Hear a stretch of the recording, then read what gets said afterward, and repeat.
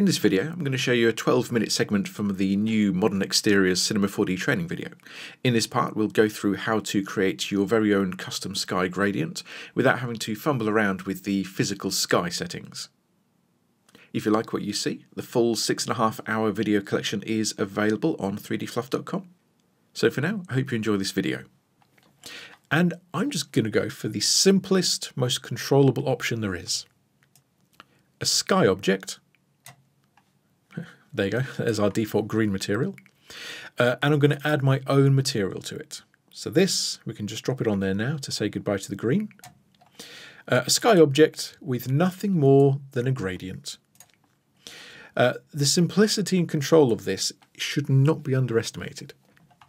So in my new sky material, under the colour, so whether you use colour or luminance doesn't actually make any difference. Uh, but we'll leave it in the colour because it's just already turned on. Uh, I'm going to open this up and inside I shall throw a gradient object. Now what we have in here, let's uh, zoom out, take a wider look. We have this gradient which swings around left and right from black through grey to white again. So the obvious problem we first have here is that the gradient is running the wrong way.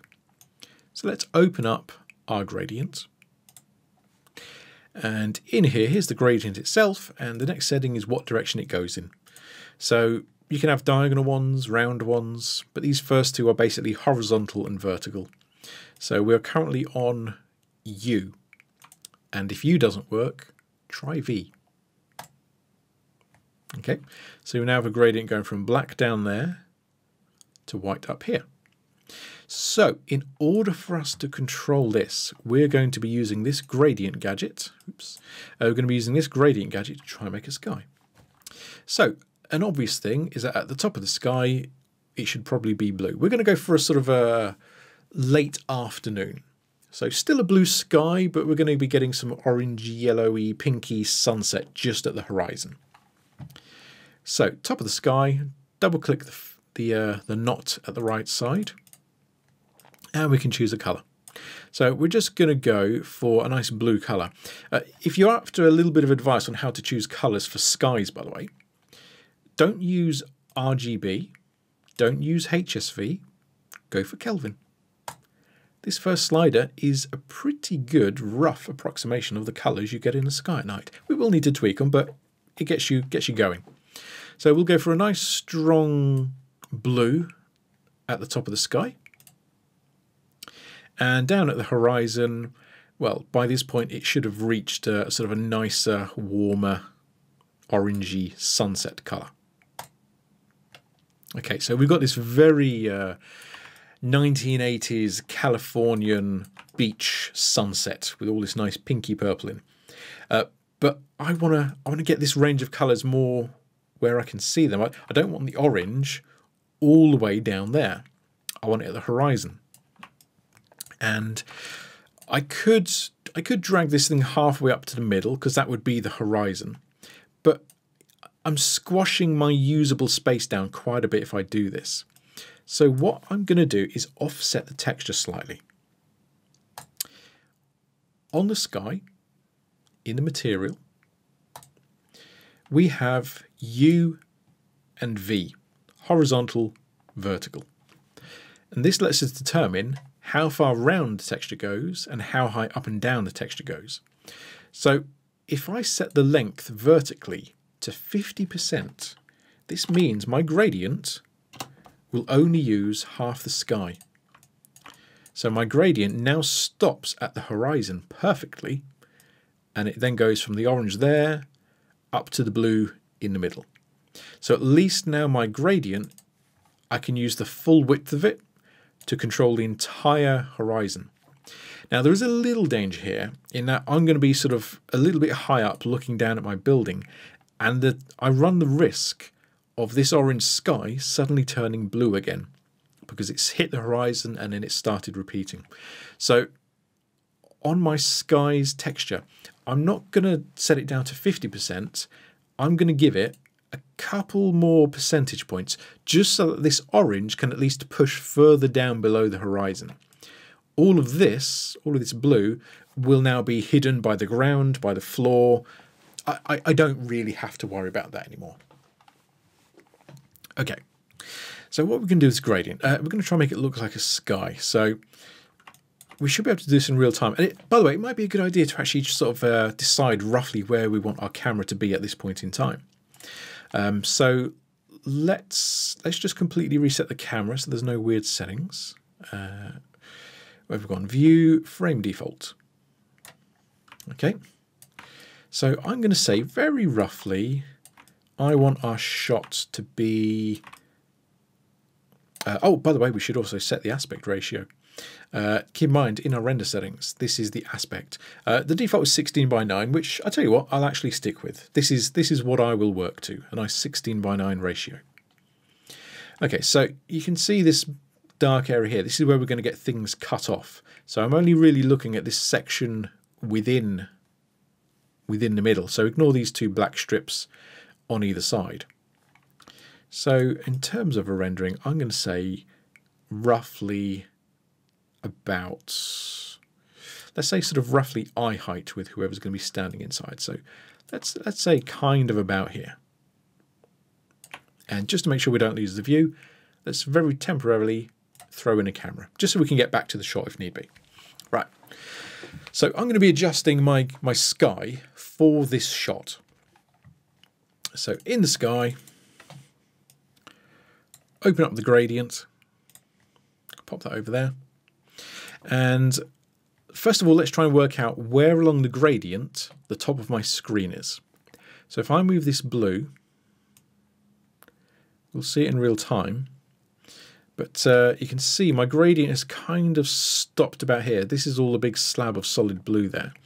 If I move this up, I'm just trying to work out roughly whereabouts. So yeah, that's about in the right place there. So from here to here, this is my visible sky.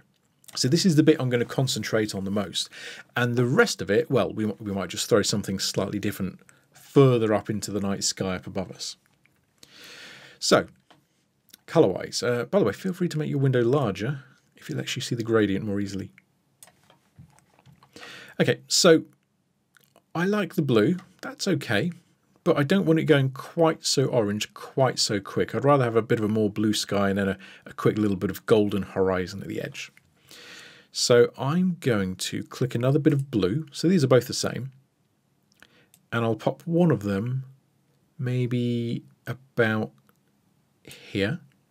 But I don't want these two shades of blue to be absolutely identical. So the one near the top, I'll make this a bit more of a, oops, I'll make this a bit more of a, a vivid, stronger, maybe darker blue. There we go. And I'll tell you what, up in the night sky over here, I'll just pop another knot for a moment, and I'll make this even bluer and even darker. So there's now sort of a, a, deeper, sort of almost evening night sky up above. Maybe we've gone a little bit too far, so we'll just put a slightly lighter shade in. Okay, now as the for the horizon, uh, I'm not quite sure I quite want this pinkiness in there. Between the blue and the orange, you're going to get this slight hint of pink. Um, but I want to try and tone that back. So I'm going to pop another knot in the middle between these. And I'm just going to tone the colour off. I'd rather it stay sort of a bit more bluish, but just quite pale. So I want it to fade down through blue, down to a sort of hazy, distant white, and then, then I'll have that sort of a uh, horizon hit the orange. So let's pop this over here a little bit. Let's move this guy up. Uh, maybe throw in a little bit of a, a more yellowy golden colour. So, by the way, do feel free to go find yourself some nice reference. Just fire up a web browser, look for a nice uh, sunset image, uh, and just sort of study the kind of colours you get. I mean, okay, we're not going for these uh, deep red ones, and clearly a lot of these colours are really, really uh, overcooked. Uh, okay, maybe sunset wasn't the best image to look for. Let's see, uh, let's just search for a sky gradient. Okay, so something a bit more like this, a bit more realistic. Um, Do, do, do, do, do, do. Surprisingly, not that great reference on here. Uh, a good website, by the way, cgskies.com. They have lots of skies. Uh, they're based on images, but I'm actually just going to be nicking some uh, colours and some shades.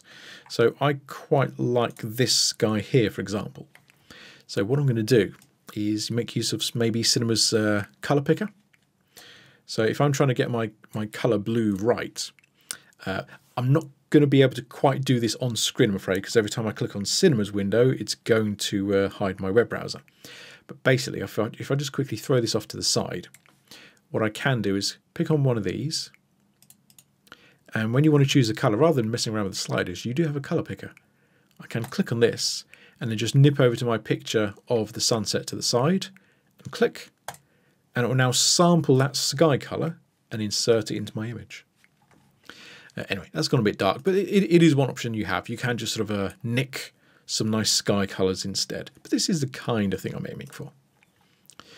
Right, uh, okay, maybe not quite so yellow, a little bit more orange, a little bit less saturated, something around there. I think that's probably close to what we're after. Uh, again, anyway, we can come back in and tweak this. We haven't got to get this absolutely perfect, spot on first time round. Um, let's leave it quite simple. Uh, now, another bit of advice when working with gradients, consider the interpolation between the colours. If I pop this out into its own window, you can see there's quite distinct layers there's a dark blue there, there's a medium blue there, there's a sort of another hint in the middle. You can quite clearly see where I've chosen my colours in the gradient here. If you unfold gradient gadget with this little black arrow, we have interpolation. You've got to choose which type works best. Um, the one which is just the most simple and straightforward and generally the smoothest possible is linear. This simply means blend from one colour to the next. Don't try to add any weighting, don't try and make it lean closer towards one colour or anything else. Just go for a linear gradient. And this tends to give you a fairly smooth gradient. Um, if not, I find cubic knots can also be a nice good alternative as well might get a little tiny bit smoother, but they're very similar, cubic knots and linear. Uh, anyway, that is all I'm going to do for the sky. That's just going to be my nice gradient. Keep in mind, there will be walls and plants, so a lot of this orange is actually going to end up getting covered up, so don't worry too much about how much orange we have down here. Okay, so now let's uh, let's get into a realm of having a quick test render, shall we? Um, or actually, I tell you what, let's uh, save that for our next chunk of video. Let's pause here for a moment and we'll do the rendering in our next video.